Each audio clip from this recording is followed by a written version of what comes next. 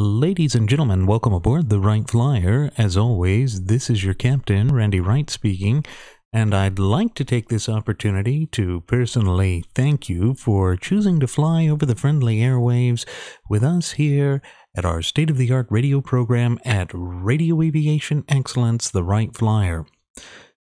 Well, folks, without any further ado, let's go ahead and delve into the topic I have set aside for this program.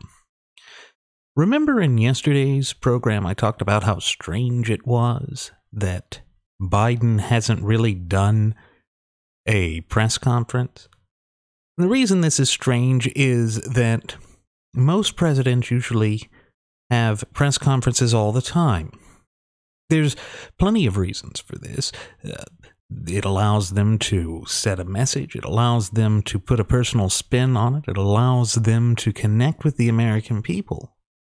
And what I find so funny uh, about all of this is that Biden and his staff just sit there and say that this is one of the best personal connections that he has with the people, that he can show empathy, that he can show connection.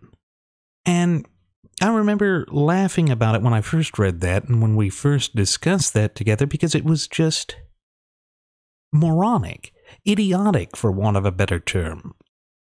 But that is how disconnected these people are.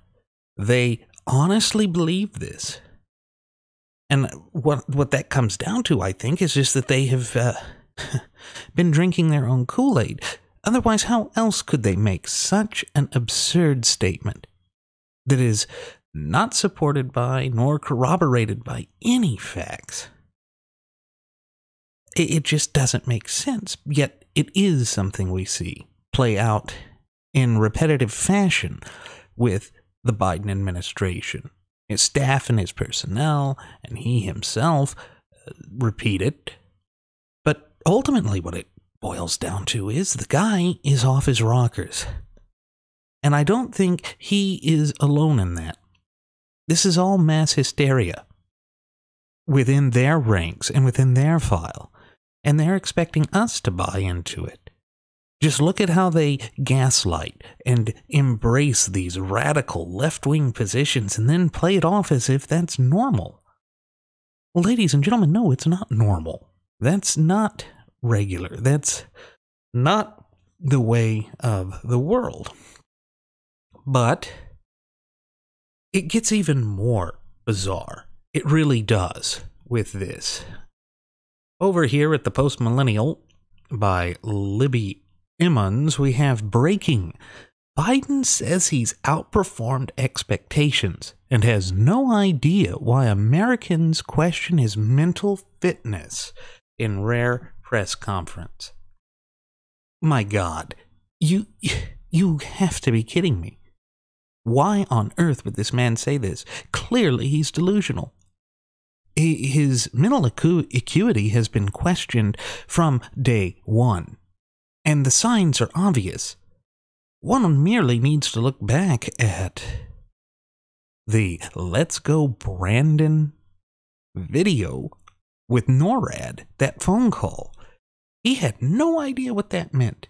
He literally had no idea, but his wife did. Dr. Jill Biden did, but no, not Joe himself. And again, what it is, is he is that out of touch. And I love how he says, I don't think I've overpromised at all and will stay on track. Really? Really? Well, I suppose if that's what you think, okay. Here it goes. Let's let's take a look at this. President Biden held a press conference on Wednesday as the nation nears 1 year of his presidency. He claimed repeatedly that he doesn't know what Republicans stand for. In answer to the first question about if he had overpromised during his first year, he said, I don't think I've overpromised at all, and will stay on this track. Oh, you always ask me the nicest questions. I know you do. All right. I, None of them make a lot of sense to me, but I Well, that's because you don't understand what's going on and you don't know where you are. well, let's let's try fire away. Come a on. new year. Uh, why are you trying so hard in your first year to pull the country so far to the left? Well, I'm not. I don't know what you consider to be too far to the left. Well, that's easy, Joe. That's really easy. That's an easy one to answer. Pushing for vaccine mandates? That's too far to the left. Pushing to federalize elections? That's too far to the left.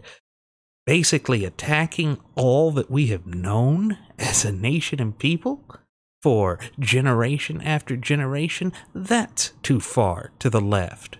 But, Joe, go ahead and continue with the nonsense, please. If in fact we're talking about making sure that we had the money for COVID, making sure we had the money to put together the bipartisan infrastructure, making sure we were able to provide for those things. I, What? you see, folks, this is the madness. And the madness is just flowing through him. Flowing through him nonstop. And why? It's because he is that disconnected, and the left has gone that far to the left. And look at how he's just acting as though there was bipartisan support for that. The bipartisan support that he had came from RINOs, basically, those who are sellouts, those who do not speak for the conservative movement or the American people. But again, this is just par for the course when it comes to this administration. And again, the rank and rampant corruption that has come to completely uh, personify, for lack of a better term, his administration is right there, plain as day, for us all to see. It's an ugly thing. And yet, he. he comes across as a bumbling buffoon, does he not? I mean, blaming Republicans claiming that they don't stand for anything. Name me one thing they're for. Well, let's start with border security. That was one thing that uh, Trump was for.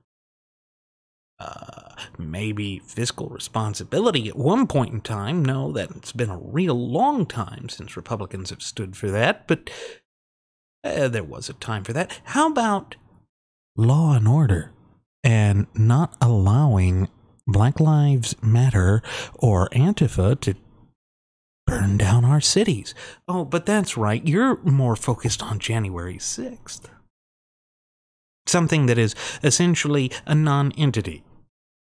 But Biden did say, I didn't overpromise, but I have probably outperformed. Good heavens. Ladies and gentlemen, you cannot be more out of touch than that. Over overperformed?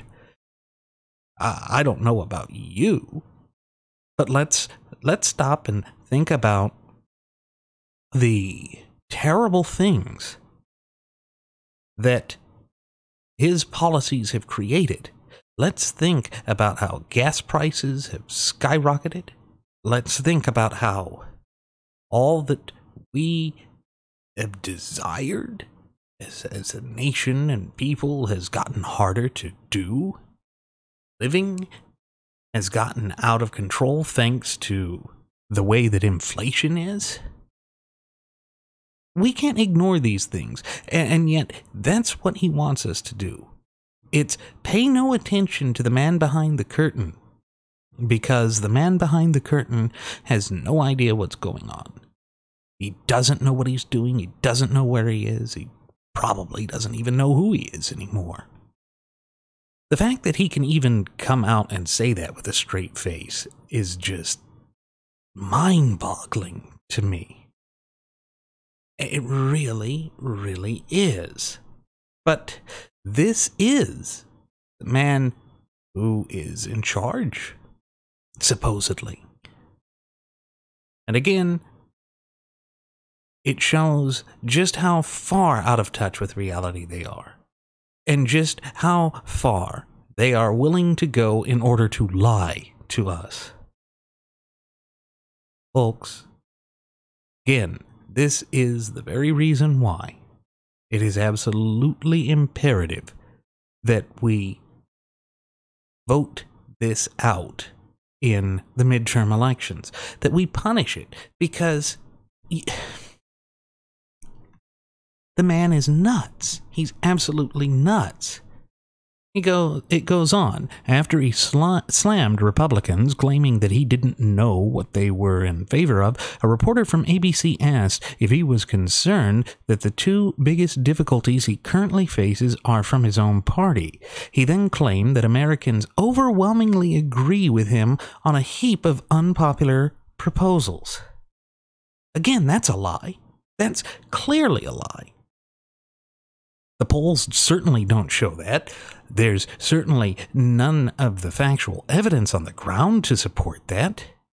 And yet, that's where we are. This is the nonsense that he is, is foisting upon us. And why?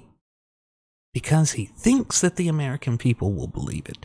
He thinks a lie repeated often enough will become the truth because that comes straight out of the pages of Goebbels is propagandist principles. Well, that's not what we need. And that's not what the nation needs. But it's what Biden thinks we need.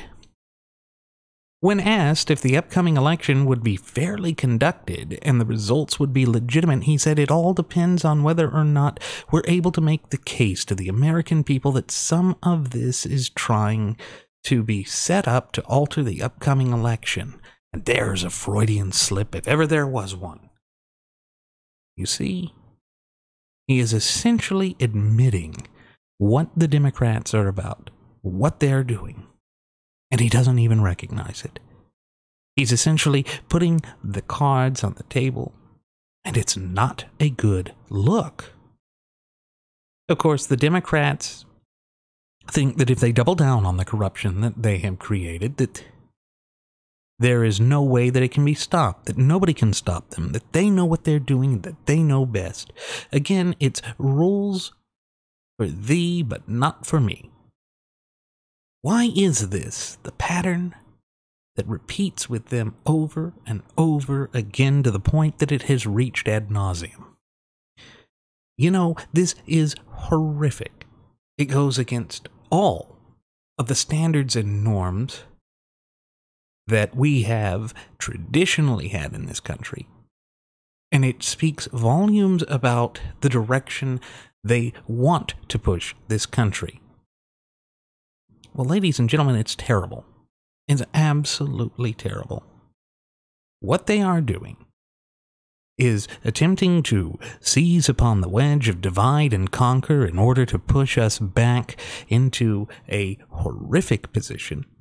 And to essentially force us to stand against one another.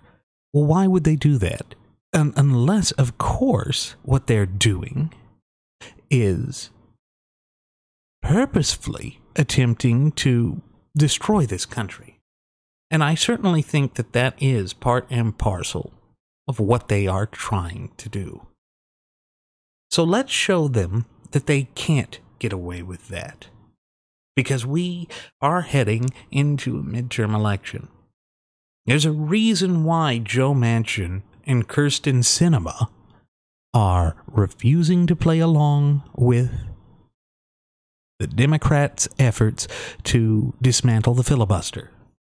And the reason they're doing that is because they know there is no public will to support them on it that the public is keen to this political kabuki theater that they're attempting to play and we are not going to do allow them to get away with it we're not going to allow this to uh, essentially be a newly established norm in the land of the free and the home of the brave because we are not about to allow our country to be torn apart by this type of chicanery.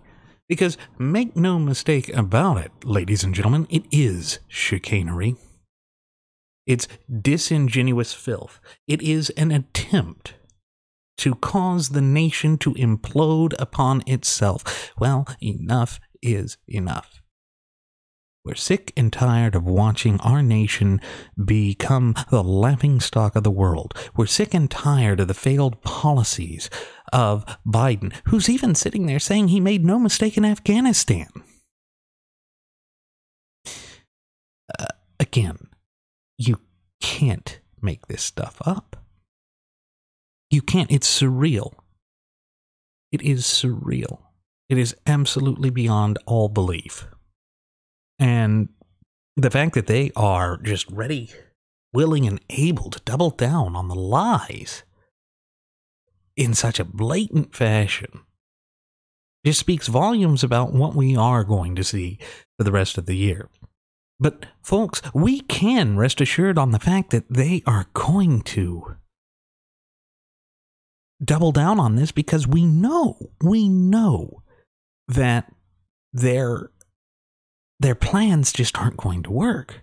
Reality and facts and evidence don't support the claims they've made.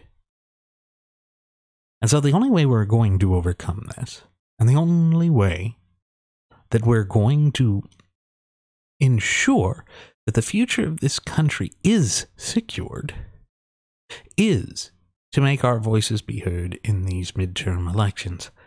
I know it sounds like a broken record that I'm harping on this, but it's of vital importance that we stand up to this because they are ready, willing, and able to double down on the lies, to keep pushing for this nonsense.